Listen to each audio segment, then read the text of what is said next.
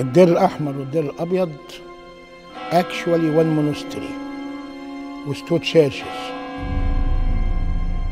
فهم والاثنين كانوا in the past history one monastery but now two monasteries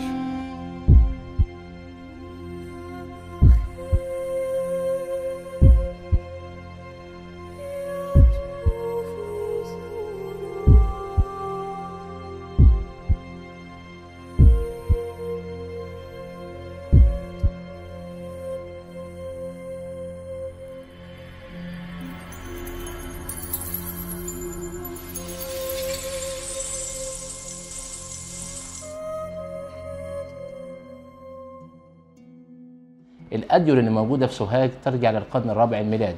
من أهم الأديرة اللي موجودة على مستوى جمهورية مصر العربية كلها ولها الأهمية التاريخية الدير الأحمر والدير الأبيض بسوهاج. اتبنى في النص الأول بتاع القرن الثالث الميلادي الدير الأحمر بالأنبأ بيجول خلي الأنبأ شنودة. فبناه بالطوب الأحمر وقالوا عليه الدير الأحمر. عاش الأنبأ بيجول والأنبأ بشي فترة ومعهم حوالي 30 راهب.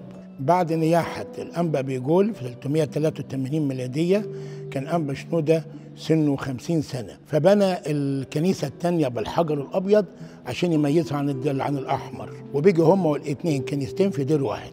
أنبا شنودة كان بيستعمل بعض من الحجارة الفرعونية اللي كانت في معبد أتريبس وبعض المعابد المجاورة للدير وكان يبني بيها آه، أجزاء من الدير الأبيض.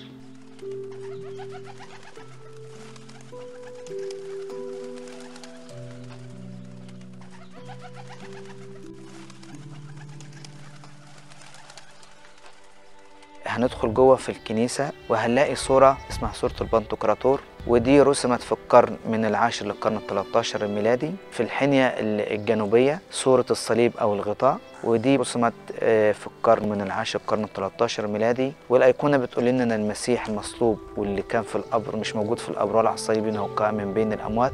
هنلاقي الدايرة وشايلينها الملائكة طبعا الدايرة بترمز لربنا غير محدود. كان دايما في كل دير بيبقى فيه حصن على أساس إن الآباء الرهبان لما تحصل أي هجوم عليهم بيستخبوا فيه الحصن ده آه، قعد فيه البابا كورولوس السادس لما كان اسمه أبونا يمينا المتوحد وكان حب الأب البطريرك في ذلك الزمان أن يرسمه آه، اسقفا. فهو ما حبش ياخد هذه الرتبة فجاء في الصعيد هنا وأقام آه، فترة من الزمان. وبعد كده رجع تاني وربنا اختاره يقود الكنيسة في الفترة لما بقي فيها بطريرك. الملكة هيلانا أم الملك قسطنطين هي اللي بنت كنيسة القيامة ولما جت بنت الكنيسة هنا فبنت الكنيسة اللي هنا شكل كنيسة القيامة. أثناء موسم الحفاير كان في حفاير في الدير الأبيض في المنطقة اللي فوق فهم أثناء ما هم شغالين وجدوا أكثر من 1400 قطعة ذهبية. للملكة هيلانا كانت رصداهم للدير الأحمر. وهم حاليا دلوقتي معروضين في المتحف القبطي في القاهرة. والجزء أعتقد المتبقي أعتقد إن هو هيتعرض في المتحف بتاع سوهاج اللي هو قريب هيتفتح ده.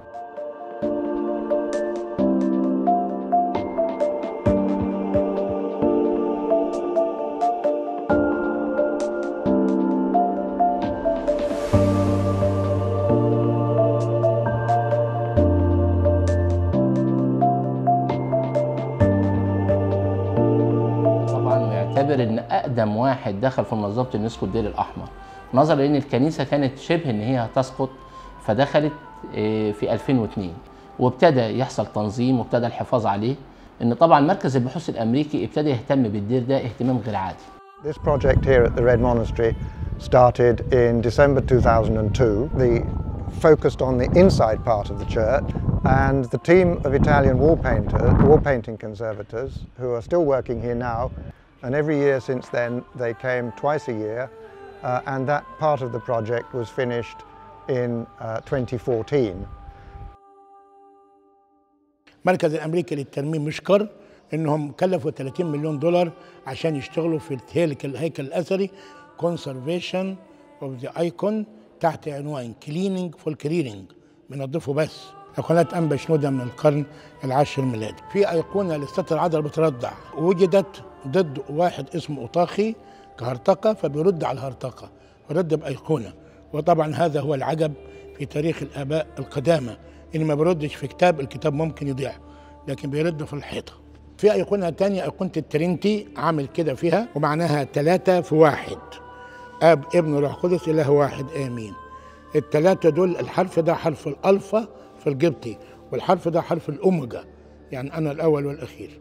ايقونه الموجودة في الشرق ايقونه السيد المسيح على كرسي العرش رافع يده للبركة. وبيجي الدير الأحمر كنيسته شكل كنيسة القيامه بالظبط آه، الأيقونة بتاعت ست العذراء بترضع دي موجودة في كنيسة القيامة موجودة هنا. وأيضا في هنا صليب والحاجتين دول موجودين في كنيسة القيامة وفي كنيسة الدير الأحمر بس. The paintings inside the church, the best preserved paintings of their time from the 6th, 7th centuries, and it's now the only place in Egypt, and I think the art historians say the only place in the Eastern Mediterranean world where you can actually walk into a church of the 6th century and see what it would have looked like painted. It's a remarkable uh, preservation of a very ancient church here in Egypt.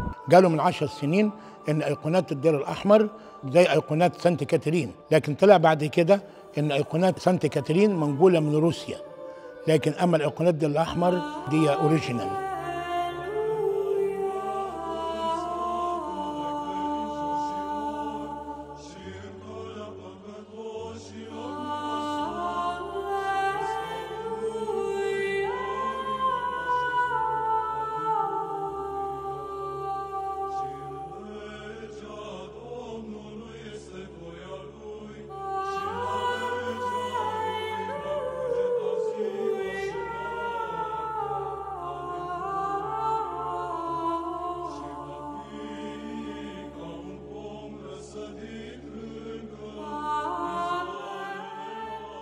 we realized that uh, in order to complete a full picture of the church, we had not only to focus on the paintings, which had high visibility, but also on a social and community aspect of the project. And so we were able, with more funding from USAID, to move out into the nave of the church, which is this large open courtyard. As it started, it was very much a focus on the monument. But as it developed, it became much more of a community orientated project. This was the venue for a project which was aimed at bringing people into understanding the value and significance of their own heritage. في كنيسة الشهيد العظيم بسخيرون الجليني وهي كنيسة جديدة. حبينا نحتفظ بالأيقونات الأثرية. فمعظم الأيقونات الموجودة في الكنيسة الأثرية اتنقلت في كنيسة الشهيد بسخيرون مثلا أيقونة البشارة ست العذراء والملاك جبرائيل الملاك مخيل أنبا بشاي وأنبا بيقول فحمل الأيقونات الموجود نقلنا كل الديكوريشن الموجودة. علشان مفيش أعظم من الأيقونات الموجودة اللي في القرون الأولى.